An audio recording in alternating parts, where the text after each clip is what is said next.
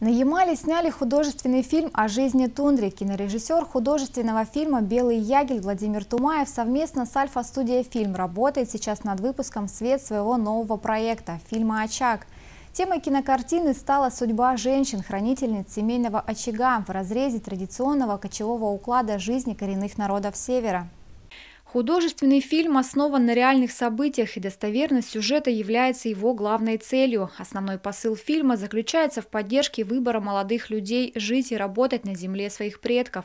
Локацией для съемок послужила Иерусалимская тундра. Работа по созданию художественного фильма проводилась при поддержке правительства округа и администрации муниципального образования Ямальский район.